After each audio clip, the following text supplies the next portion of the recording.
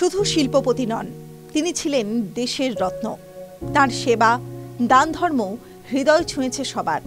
দেশবাসী তাকে মনের মণি কোঠায় বসিয়েছিলেন। তার পোষ্যপ্রেমের কথাও সকলের জানা।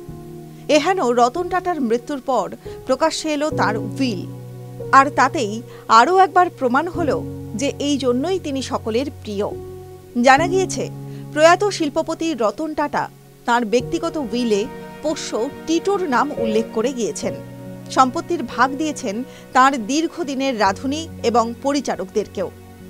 গত নয়ই অক্টোবর, ছিয়াশি বছর বয়সে শেষ নিঃশ্বাস ত্যাগ করেন বিখ্যাত শিল্পপতি রতন টাটা।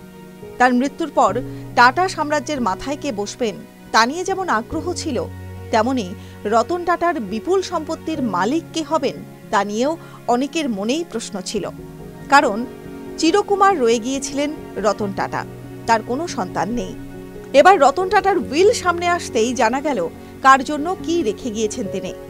টাইমস অফ ইন্ডিয়ার প্রতিবেদন অনুযায়ী, রতন টাটার ব্যক্তিগত সম্পত্তির পরিমাণ দশ হাজার কোটি টাকারও বেশি।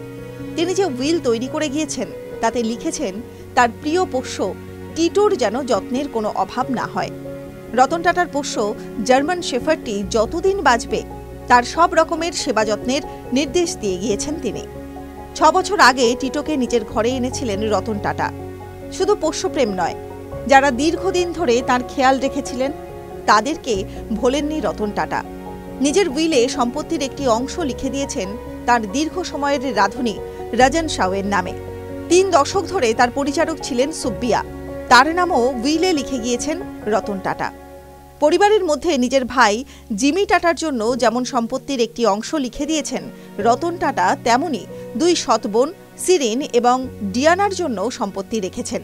বাকি সম্পত্তি তিনি টাটা ফাউন্ডেশনের নামে করে দিয়েছেন। শেষ বয়সে রতন টাটার ছায়ার সঙ্গী। প্রিয় বন্ধু শান্তনু নাইডুও বাদ পড়েননি উইল থেকে। শান্তনুর স্টার্ট আপ গুড ফেলোজে নিজের অংশীদারিত্ব যেমন ছেড়ে দিয়েছেন তেমনই শান্তনুর বিদেশে পড়তে যাওয়ার খরচও পুরোটাই রতন টাটা নিজের সম্পত্তি থেকে দিয়ে গিয়েছেন। কি কি সম্পত্তি রয়েছে রতন টাটার?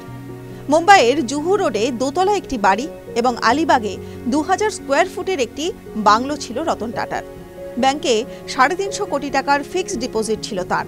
একশো পঁয়ষট্টি বিলিয়ন ডলারের টাটা গ্রুপে মূল সংস্থা টাটা সন্সের জিরো পয়েন্ট এইট থ্রি শতাংশ অংশীদারিত্বও ছিল রতন টাটার নামে। টাটা সন্সে রতন টাটার যে অংশীদারিত্ব ছিল তা রতন টাটা এন্ডাউমেন্ট ফাউন্ডেশনে হস্তান্তর করা হবে। টাটা গ্রুপের সংস্থাগুলিতেও রতন টাটা যে শেয়ার ছিল, তাও এই ট্রাস্টেই হস্তান্তর করা হবে। রতন টাটার যে কুড়ি থেকে তিরিশটি লাক্সারি গাড়ি এবং কোলাবায় হালেকাই হাউস ছিল, তার ভবিষ্যৎ এখনও নির্ণয় হয়নি। তবে মনে করা হচ্ছে গাড়িগুলি পুনে মিউজিয়ামে পাঠানো হতে পারে বা নিলাম করে দেওয়া হতে পারে। বম্বে হাইকোর্ট এই সমস্ত সম্পত্তির পর্যালোচনা করবে। TV nine Bangla, digital.